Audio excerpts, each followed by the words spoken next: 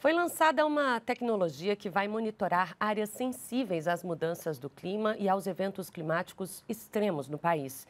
A ferramenta faz parte de uma parceria entre o governo federal e uma gigante do setor de informática dos Estados Unidos. O novo sistema, chamado Clima Adapt, foi lançado na sede da Escola Nacional de Administração Pública, a ENAP, em Brasília. Ele funciona assim reunindo informações da base de dados de diferentes órgãos do governo e de parceiros, o software analisa uma área específica, avaliando o histórico de chuvas, altitude, inclinação do terreno composição do solo, entre outras características. Um grande volume de dados vindos de fontes muito diferentes.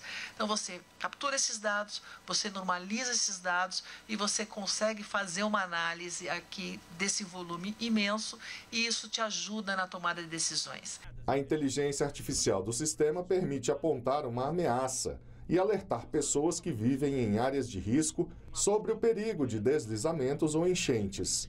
O software também consegue avaliar se há a possibilidade de perdas no campo, causadas por algum fenômeno natural.